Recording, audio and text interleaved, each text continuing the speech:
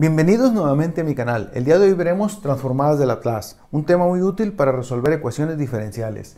Y para esto lo primero que tenemos que conocer es que la transformada de Laplace es una integral impropia, una integral cuyo núcleo es e a la menos st y digamos que es una función muy especial, una integral especial, la cual para resolverla se tienen que usar algunas fórmulas básicas, así como lo hacemos con las derivadas y las integrales.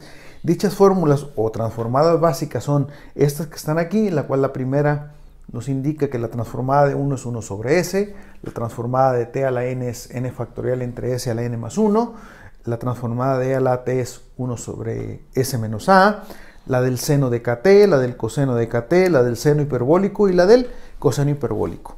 Para esto entonces vamos a ver cuatro ejemplos en los cuales vamos a utilizar estas fórmulas que tenemos aquí. Pero iniciemos.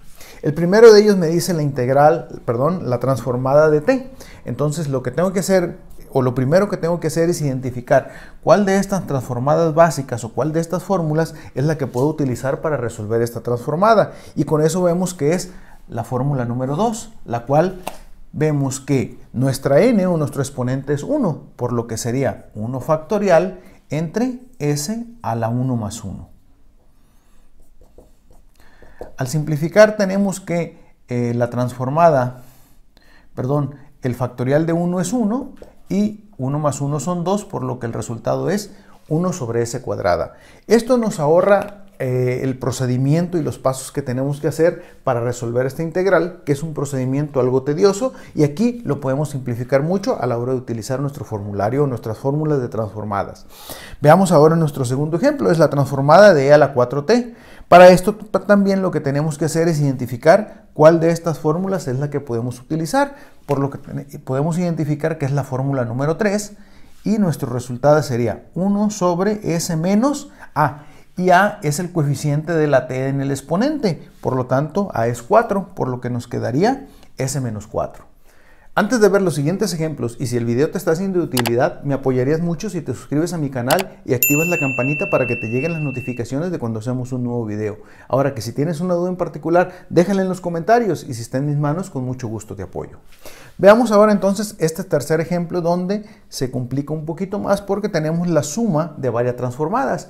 Bueno, de la misma forma en que en las integrales la integral de una suma es la suma de integrales, bueno, en las transformadas la transformada de una suma es la suma de las transformadas. Por lo que tendríamos aquí que esto va a ser igual a la transformada de 1 más, como aquí tenemos una constante, esta constante yo la puedo dejar aquí, la transformada de t,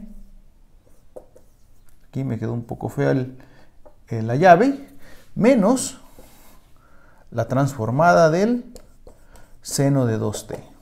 Y entonces lo que tenemos que hacer ahora es identificar para cada una de ellas cuál sería la fórmula o la transformada que vamos a utilizar. Vemos que para la primera sería nuevamente nuestra primera fórmula, que sería 1 sobre s, más en la segunda también sería la de t a la n, por lo que sería 3 que multiplica a n, quedamos que nuestro exponente es 1, por lo que aquí sería 1 factorial sobre s a la 1 más 1 menos el seno de 2t, tenemos que vamos a emplear la fórmula número 4, por lo que sería eh, menos k sería 2, 2 sobre s cuadrada más 2 al cuadrado. Si quisiéramos simplificar un poco la expresión, bueno, podríamos tener 1 sobre s más 3 sobre s cuadrada menos 2 sobre s cuadrada más 4. Y este digamos que sería nuestro resultado a la hora de resolver esta transformada.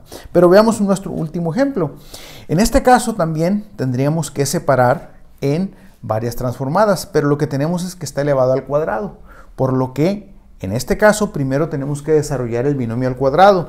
Por lo que tenemos que sería la transformada de el cuadrado del primer término más el doble producto del primero por el segundo más el cuadrado del segundo término. Entonces, el cuadrado del segundo, por lo aquí sería e a la 4t, porque al elevar al cuadrado un exponente, los exponentes se multiplican. Y ahora sí, lo que tenemos que hacer es resolver cada una de estas de los términos que tenemos en la transformada.